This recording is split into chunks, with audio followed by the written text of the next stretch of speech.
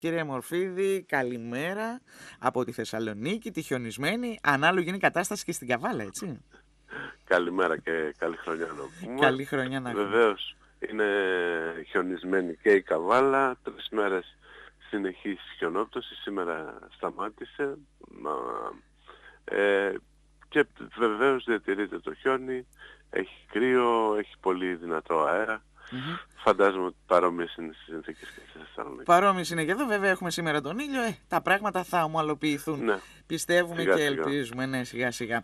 Τώρα, ε, δεν ξέρω αν θα ομαλοποιηθούν τα πράγματα στην καθυστέρηση για τη δεύτερη αξιολόγηση. Εύλογο ερώτημα όλων, γιατί δεν κλείνει, κύριε Μορφίδη, η δεύτερη αξιολόγηση.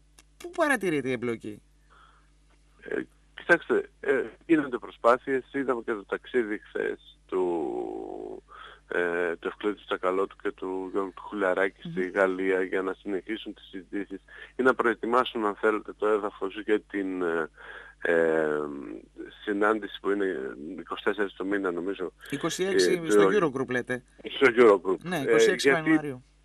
Ε, σε αρκετά θέματα έτσι όπως έχει γίνει η κατάσταση νομίζω ότι η λύση πρέπει να είναι πολιτική δηλαδή πρέπει να πάρθει από τους ηγέτες ε, της ε, Ευρώπης ε, για το αν θα μετέχει το Ταμείο το, το Διεθνές Νομισματικό Ταμείο δεν θα μετέχει. Για το τι λύση θα βρεθεί στα εργασιακά που και αυτό είναι ένα πολύ σημαντικό ε, κομμάτι για να κλείσει και πρέπει να κλείσει για να πάμε στην ολοκλήρωση της αξιολόγησης. Νομίζω ότι αυτά είναι τα, τα αγκάθια τώρα. Και και εκεί γίνονται προσπάθειες. Το σημαντικό είναι ότι όλοι αναγνωρίζουν ότι η διαπραγμάτευση αυτή πρέπει να κλείσει. Δηλαδή πρέπει να, να τελειώσουμε πριν ε, μπούμε σε προεκλογική περίοδο που, που ξεκινάει για τη Γαλλία, για την Ολλανδία και για τις υπόλοιπες χώρες που θα, εκεί ε, θα μπλοκάρει ε, αυτή η περίοδος στην αξιολόγηση. Και Νομίζω βέβαια, ότι ναι, καταβάλλονται προσπάθειες και δεν έχει δεν είναι ε, σίγουρο ότι θα πάει πιο πέρα. Δηλαδή ε, οι προσπάθειες αυτές μπορεί να αποδώσουν και να κλείσουμε μέχρι το τέλος του μήνα. Είναι και το σημαντικό η εκταμείευση της ε, νέας ε, βοήθειας, της νέας δόσης που την έχει εξαιρετική ανάγκη η χώρα. Τώρα, ήθελα να ρωτήσω... Βεβαίως την έχει ανάγκη η αγορά, έτσι, γιατί ε, κυρίως ναι. είναι χρήματα που θα πάνε για αποπληρωμή των χρεών που έχει το δημόσιο προς, προς τους ιδιώτες, προφανώς. Αυτό θα τονώσει την αγορά. Κύριε Μορφίδη, τώρα ήθελα λίγο να ρωτήσω, παρατηρείτε αυτή η εμπλοκή, αυτή η καθυστέρηση, όπως θέλετε πείτε το. Μήπως υπάρχει και κάποια άλλη σκοπιμότητα από την πλευρά των ε, δανειστών; Να οδηγήσουν ας πούμε την κυβέρνηση σε κάποιο αδιέξοδο; Αυτό υπάρχει από την πλευρά της, ε, της Γερμανίας όμως. Έτσι, νομίζω ότι αυτές οι κινήσεις είναι από μια ε, μονομανία που έχει η Γερμανία στο να ε, είναι απέναντι από αυτή την κυβέρνηση γιατί θεωρεί ιδεολογικά αντίθετη ε, με την ίδια, αν θέλετε, με την πολιτική της. Ε, και από τον κύριο Σόιμπλε έτσι και από τους ανθρώπους εκεί.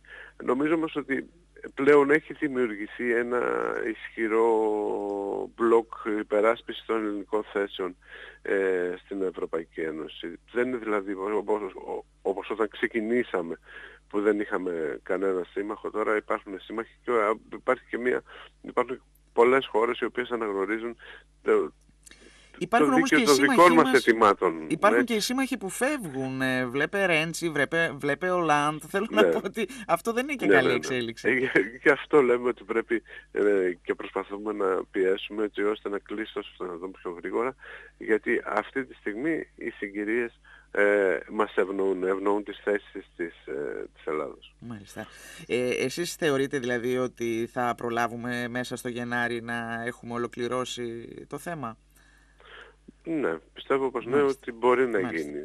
Τώρα αν θα, θα γίνει, Τώρα... είναι, δεν εξαρτάται μόνο από εμάς. Έτσι. Ναι, κύριε Μορφίδη, ένα τελευταίο σχόλιο, καθώς έχουμε σήμερα στη Γενέβη την ε, πολυμερή διάσκεψη για το Κυπριακό. Ήθελα την εκτίμησή σας, το σχόλιο σας για το τι περιμένει η ελληνική πλευρά από αυτή την ε, διάσκεψη.